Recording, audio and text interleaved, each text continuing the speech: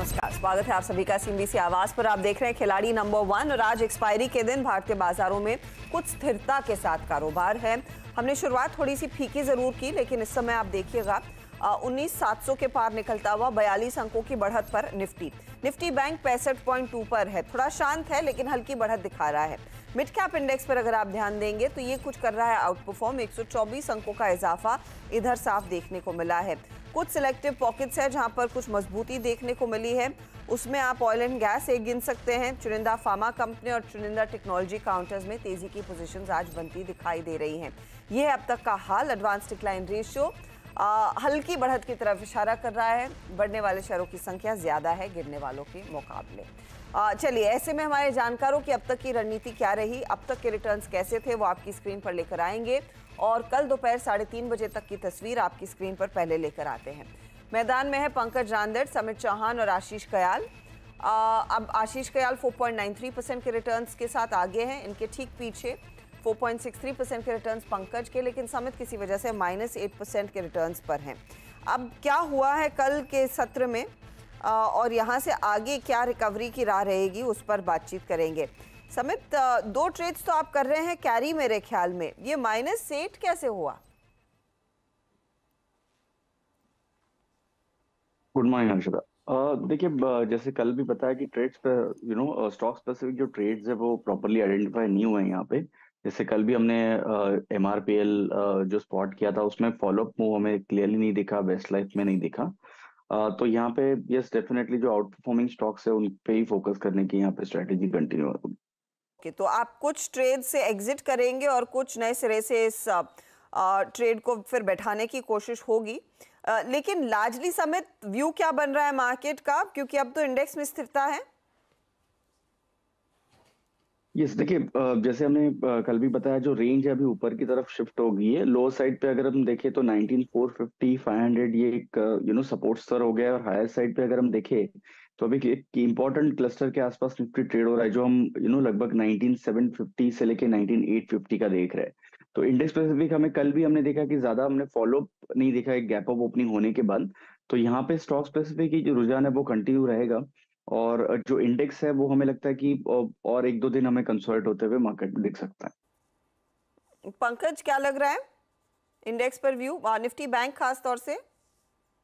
Good morning Harshada ji and good morning all Harshada ji अगर bank Nifty की हम लोग अगर बात करते हैं तो ऑप्शन डेटा में काफ़ी ठहराव नज़र आ रहा है। ऑन 44,300 लेवल्स और 44,200 लेवल्स के ऊपर ऑप्शन एक्टिविटीज़ जो है वो बहुत स्टैगनेंट है।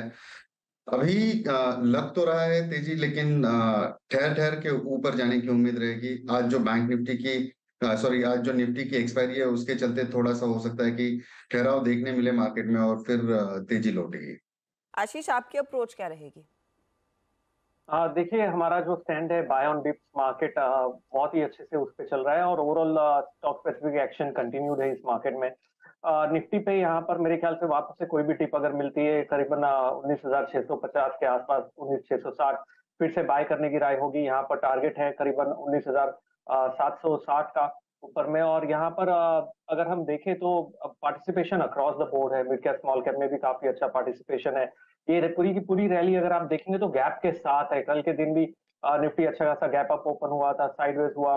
तो ओवरऑल जो रैली है यहाँ पर एक गैप के साथ है और यूजुअली गैपिंग एक्शन जिस डायरेक्शन में होता है ट्रेंड उस डायरेक्शन में काफ़ी स्ट्रॉन्ग होता है। तो ऐसे में चलते हुए मेरे ख्याल से बैंक निफ्टी में भी एक बाइंग इमर्ज होनी चाहिए। बैंक निफ्टी का अगर लेवल देखे तो ऊपर में 44,600 तक बैंक निफ्टी जाने की गुंजाइश है और ऐसा लगता है कि बैंक निफ्टी शायद यहाँ से लीड कर सके। आपकी क्या स्ट्रैटेजी रहने वाली है पंकज जी इस पर्टिकुलर ट्रेड में आज के दिन? मैम दोबारा पूछें। मैं पूछ रही हूँ आज के लिए क्या रणनीति है? या आ, मैं इंश्योरेंस कंपनी के साथ में जाना चाहूँगा ma'am J I C R E general insurance के साथ में। आ, बहुत बढ़िया ट्रेड दिए हैं। इनफैक्ट कल से रडार में था लेकिन आज सुबह से जिस तरीके से रफ्तार पकड़ी है जिस तरीके से तेज़ी नज़र आ रही है सारे पैरामीटर्स के ऊपर बहुत पुलिस डाइवर्जन देखने मिला हुआ है। 243.50 की रेंज में जेआईसी बाय करने की सलाह रहेगी। विद स्टॉप लॉस ऑफ़ 230 और टारगेट जो रहेगा वो 270 का रहेगा। काफ़ी एग्रेसिव वेट लग रहा है मैम। ओके okay, 270 के टारगेट के लिए जीआईसी आर ये पहला ट्रेड आता हुआ। वैसे मैं आपको बता दूँ पंकज ने आज सुबह में जीएमआर एयरपोर्ट में एग्जिट किया। 5785 पर ये ट्रेड कैरी करके आए थे और कल क्रॉम्पटन कंज्यूमर से इन्होंने एग्जिट कर लिया। आज का नया सौदा जीआईसी आर ई है 270 टारगेट और 230 के आसपास का स्टॉप लॉस समित का पोर्टफोलियो देखिए। तो एक तो आज सुबह में ग्लेनमार्क फार्मा में स्टॉप लॉस ट्रिगर हुआ है। वेस्ट लाइफ से इन्होंने एग्जिट कर लिया है कुछ ही देर पहले। एमआरपीएल के ट्रेड को होल्ड कर रहे हैं। नया क्या जोड़ेंगे आप, समित? यहाँ पे हम सी इंफो सिस्टम्स के साथ जाना चाहेंगे। स्टॉक हम देख रहे हैं कि एक कंसोलिडेशन के दौर में है बट आज सुबह से इसमें जो बाइंग इंटरेस्ट देख रहे हैं, उसके चलते एक पॉसिबिलिटी लग रही है कि ये स्टॉक जो उसके प्रीवियस साइज़ है, वो सरपास करे। तो यहाँ पे एक you know twenty one twenty के स्टॉप लॉस से सी इन्फो सिस्टम्स बाय करने की सलाह रहेगी और ट्वेंटी फोर एटी का इसका टारगेट होगा। ट्वेंटी फोर एटी के लिए सीई इन्फो सिस्टम्स यानी कि मैप माई इंडिया चार परसेंट ऊपर है काउंटर एक मोमेंटम ट्रेडर रहा है। उसके बाद थोड़ी शांत हुआ और अब फिर से पिकअप कर रहा है। ट्वेंटी वन ट्वेंटी के आसपास स्टॉप लॉस लगेगा। आशीष जी आप क्या ट्रेड जोड़ेंगे? देखिए मैं आज जो ट्रेड जोड़ना चाहूँगा वो है एफडीसी लिमिटेड यहाँ पे काफ़ी अच्छा स्ट्रॉन्ग ब्रेकआउट आता हुआ नज़र आ रहा है। स्टॉक ने एक inverted head and shoulder pattern का भी ब्रेकआउट दिया है। तो और वॉल्यूम के साथ ब्रेक है। मोमेंटम अच्छा पिकअप होता हुआ नज़र आ रहा है इंडिकेटर्स पे। तो ओवरऑल बाई की राय होगी एफडीसी पे। यहाँ पर टारगेट जो एफडीसी का निकल कर आता है 440 का है और स्टॉप लॉस है 385 का। ओके okay, तो ये फ़िलहाल आपके लिए 440 के लिए तेज़ी का ट्रेड एफटीसी में 385 का स्टॉप लॉस लगाना है। और दो ट्रेड्स के साथ आप इस समय कंटिन्यू कर रहे हैं राइट उनो मिंडा और इंटरलेक्ट डिज़ाइन बिल्कुल दोनों ट्रेड अभी कैरी लॉन्ग में है। ओके तो वो लॉन्ग साइड के ट्रेड्स बने हुए हैं। पंकज जी जीआईसी आरी जोड़ा एक दूसरा ट्रेड अब देंगे या दोपहर में? अर्षदा जी दोपहर में ही देना पसंद करूँगा क्यों मार्केट का भी कुछ रुझान ठीक से समझ नहीं आ रहा है। हम्म। तो सेकंड हाफ़ में डेफिनेटली हम लोग कोशिश करते हैं कुछ बाई साइड के ट्रेड दें। समित आपका क्या इरादा है?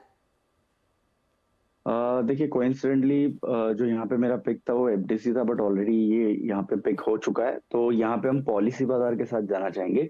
पॉलिसी बाज़ार एक स्टडी मूव रहा है तो 760 के स्टॉप लॉस से पॉलिसी बाज़ार हम बाय करने की सलाह देंगे और यहाँ पे 838 का टारगेट होगा। ओके okay, 838 के लिए अब पॉलिसी बाज़ार आया। तेज़ी का ये ट्रेड 760 के आसपास का आप स्टॉप लॉस रखेंगे। यह है वो बाय साइड का trade Policybazaar by the way तीन परसेंट ऊपर। अच्छा इस बीच निफ्टी निफ्टी बैंक दोनों आपकी स्क्रीन पर आएँगे, क्योंकि अब कुछ और तेज़ी बन रही है। नियरली नब्बे पॉइंट का इजाफा, एक अच्छा उछाल आता हुआ निफ्टी में, और निफ्टी बैंक भी अब सौ पॉइंट ऊपर। तो चालीस पॉइंट का मूव देखने को मिला है पिछले दस मिनटों, पिछले पाँच मिनटों में राधर आईटीसी इस समय का टॉप ट्रेडेड काउंटर आपको दिखाई देगा। इस घंटे इसका योगदान ज़्यादा आता हुआ। डीवीज लैब सिप्ला ये दूसरे कुछ काउंटर्स हैं जहाँ पर आधे आधे परसेंट की तेज़ी बनती दिखाई दे रही है। इस तरह का स्पाइक जो आईटीसी में दिखा है, वैसा ही स्पाइक मेरे ख्याल में डीवीज और सिप्ला में भी दिखने लगेगा। वहाँ पर हम देख रहे हैं कुछ थोड़ा सा एक्शन ज़ोर पकड़ता हुआ।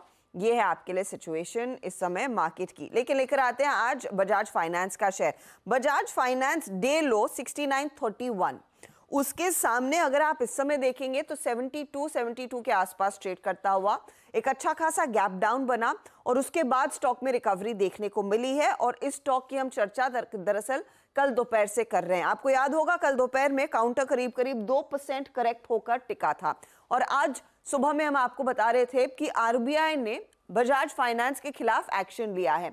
एक्शन लिया गया है दो पर्टिकुलर प्रोडक्ट्स पर, जो ई कॉम और साथ ही साथ इंस्टा लोन देते हैं। डिजिटल लेंडिंग गाइडलाइंस के नियमों का उल्लंघन किया है इन दो पर्टिकुलर प्रोडक्ट्स के ज़रिए। बजाज फाइनेंस ने इसीलिए वो दरअसल एक्शन आरबीआई ने लिया है। अब कंपनी कहती है वित्तीय कारोबार पर उनका असर नहीं रहेगा। की फैक्ट स्टेटमेंट जो अब तक जारी नहीं कर रहे थे, दोनों लोन प्रोडक्ट्स पर अब जारी करना शुरू कंपनी कर चुकी है। यह अब तक का मामला है। स्टॉक टूटा, चार परसेंट गिरा और उसके बाद रिकवरी आई है। लेकिन ब्रोकरेजेस क्या कह रहे हैं इस मामले पर, वो आपको बताते हैं। मक्वायरी ने एक डिटेल रिपोर्ट निकाली है। उन्होंने कहा है कि देखिए सेकंड क्वार्टर में 35 लाख नए कस्टमर्स बजाज फाइनेंस ने जोड़े हैं। अब इन 35 लाख कस्टमर्स में डिजिटली करीब ईएमआई e कार्ड्स वाले जो कस्टमर्स है, वो 6 लाख शामिल है। यानी कि अगर आप टोटल कस्टमर बेस इस पर्टिकुलर क्वार्टर का ऐड देखें तो उसमें digitally acquired customers nearly 19 percent के आसपास आते हैं।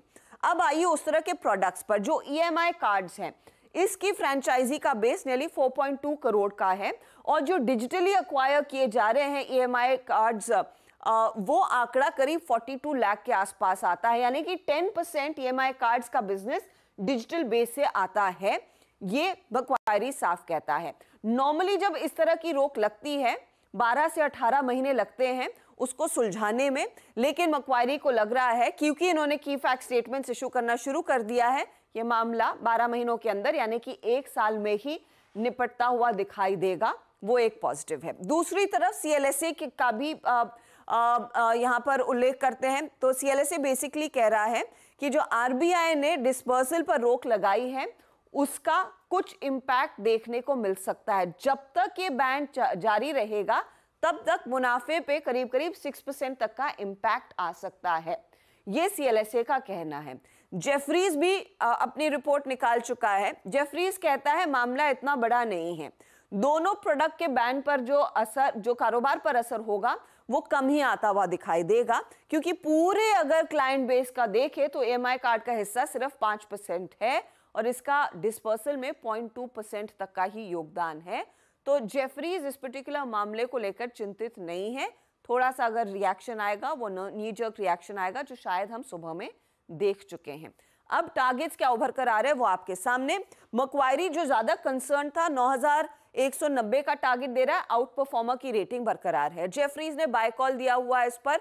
9470 का इनका टारगेट है और सीएलएसए 9500 के टारगेट के साथ जा रहे हैं।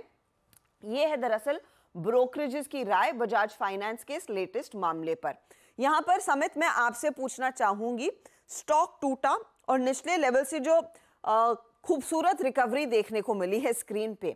अब बताइए, क्या चांसेस हैं कि अगर कुछ बिगड़े, अगर कोई लेवल पार ना हो तो एक बार फिर हम लो को टेस्ट कर सकते हैं? नहीं, देखिए हर्षदा, आज की जो रिकवरी है, वो एक एनकरेजिंग साइन है ये स्टॉक के लिए, क्योंकि प्रिसाइजली ये स्टॉक ने 200 डे जो सिंपल मूविंग एवरेज था अराउंड 6900 के आसपास, वहीं पे हमने लो मारा है और जो एक शार्प रिकवरी हमने देखी है तो यहाँ पे एक दो दिनों का भी फॉलोअप काफ़ी इंपॉर्टेंट होगा। अगर फॉलोअप आके 7450 7470 के लेवल्स अगर ये रिक्लेम करता है तो प्रॉब्ली हम बोल सकते हैं ये जो करेक्शन था, वो करेक्शन ऑलरेडी हो चुका है और यहाँ से प्रॉब्लम ये स्टॉक थोड़ा स्टेबलाइज हो सकता है। तो फ़िलहाल तो आज के लिए जो आज का लो है सिक्सटीन हंड्रेड ये फॉर अ टाइमिंग एक इंपॉर्टेंट सपोर्ट लो बन चुका है। और यहाँ पे अगर फॉलोअप में आके सेवेंटी फोर फिफ्टी सेवेंटी के लेवल्स अगर ये ब्रेक करता है तो प्रॉब्ली ये स्टॉक में शॉर्ट टर्म बॉटम भी हम फॉर्म होते हुए दिख सकते हैं। तो ये राय हुई बजाज फाइनेंस पर। चलिए इस बीच आप स्क्रीन पर देख रहे हैं सेबी चेयरपर्सन माधवी पुरी बुच को जो दरअसल फिक्की की एनुअल कैपिटल मार्केट कॉन्फ्रेंस में बात कर रही है। Leaving no room for delays और indeed for any malpractice within the regulatory environment happy to share with you some data. You'll see uh four The first and most important reform we made in SEBI was, while technically every regulator counts pendency from this date of last receipt of all information, which gives every regulatory officer an escape hatch that if they're about to cross their target timeline, they simply ask one more question. Right? This loophole has been plugged and the data that you now see before you is the aging of applications from the date of first receipt. So no excuses, no sending last minute questions. This is how it stacks up from the date of first receipt.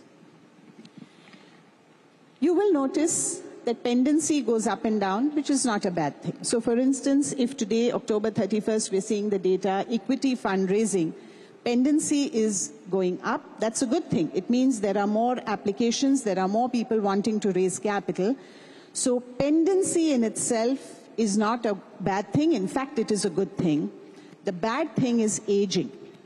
And so within SEBI now, if the department is within the green or within the yellow, which means less than one month or one to three months from first receipt of application, they're doing okay.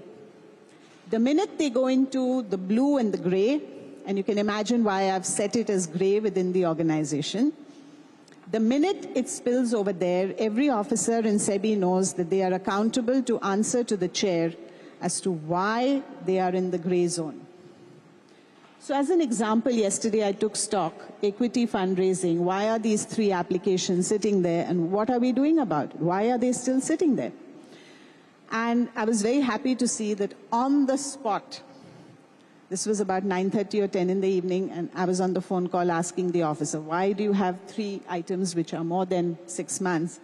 One is sub judice, so there's judicial intervention, we cannot do anything. Uh, and in two cases, it is awaiting some other regulator's approval. So again, we cannot do anything about it. So as you can imagine, the focus that we have on pendency and aging is because of the commitment that we made to each one of you here one year ago, that to us we understand that in the markets, time is money, money is time, and any delay on the part of the regulator causes huge, not just inconvenience, but actual cost to the market participants, particularly to the issuers. So as you can see, we're doing a reasonably good job from pendency and aging, not pendency, but from aging, which was pretty much, uh, you know, significant numbers in the blue and gray zone. We've now come down quite a lot. In the case of mutual fund schemes, oh, wonderful, less than one month, so I presume that they are not complaining. Um, so what it really means is that you basically put in an application and before you know it, SEBI has approved it because it's not even there as a pendency. So the important thing is every part of the ecosystem needs to have the ability to respond instantly to the market and to the investor needs without the regulator coming in the way. So this is our commitment that we wouldn't come in the way and this is our progress report. Similarly on AIF schemes, you can see everything is in the green and yellow and compare that with March of last year where we had uh, almost 71 items in the blue and gray. And today there is zero. In the case of REITs and InvITs, of course, these are few and far between, but again, you can see that there is very low pendency. Also in terms of pendency of registrations, because it's not just about uh, fundraising, it is about new participants coming into the market. And, you know, in the roundtable that we had earlier this morning, there was a discussion mm-hmm. about is it very onerous to really get things done in SEBI? So this is, again, this was our commitment and here are the numbers. If you look at AIFs again, you know, registration. This is registration of somebody wanting to carry out this activity. Earlier, there were lots and lots of cases, over two dozen cases in the blue and gray. Today, it's down to zero. Mutual funds down to zero portfolio managers, there's one person sitting in three to six months, otherwise all in green and yellows and so on. So this was our commitment that we made to you that the regulator will not come in the way of your doing what you need to do in the market. And this was our sort of status report on that.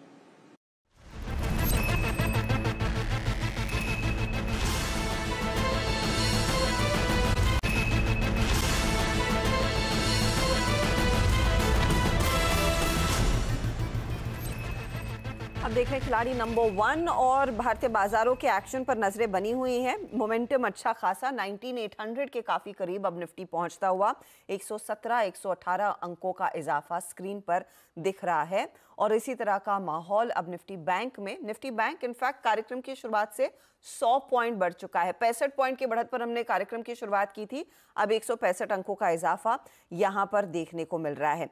चलिए हमारे जानकारों ने जो trades दिए हैं उसको फटाफट से आपके लिए रिकैप करते हैं। एक जगह खाली रखी है पंकज ने।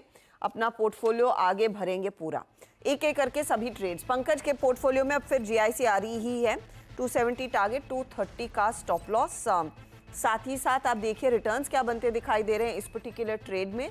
तो जीआईसी आ रही इनफैक्ट इनको थोड़ा सा प्रेशर में डाल रहा है। पॉइंट परसेंट का दबाव आया है इस स्टॉक के जोड़ने के बाद। समित ने एमआरपीएल कैरी किया। 130 का टारगेट 114 का स्टॉप लॉस फिर जोड़ा है मैपमा इंडिया या फिर सी इन्फो सिस्टम्स 2480 टारगेट है 2120 का स्टॉप लॉस पीबी फिनटेक भी ऐड कर रहे हैं। 838 टारगेट 760 का स्टॉप लॉस रिटर्न्स देखिए क्या बन रहे हैं इन तीनों ही ट्रेड्स में। एमआरपीएल आज करीब ढाई परसेंट प्रेशर में है। लेकिन सी इन्फो सिस्टम्स आधा परसेंट ऊपर एंड पीबी फिनटेक करीब पॉइंट ज़ीरो थ्री परसेंट तक का योगदान इनके पोर्टफोलियो में देता हुआ। आ, साथ ही साथ लेकर आइए आशीष कयाल का पोर्टफोलियो। नया ट्रेड है FDC 440 target 385 stop loss intellect design arena 770 755 का target 666 stop loss Uno Minda 702 का टारगेट 619 का स्टॉप लॉस है। रिटर्न्स देखिए इस घंटे के। तो यहाँ पर उनो मिंडा कंट्रीब्यूट कर रहा है आई थिंक तेज़ी में। आ, नहीं अब सॉरी कुछ गड़बड़ है वो टेक्निकल दिक्कत हो गई है।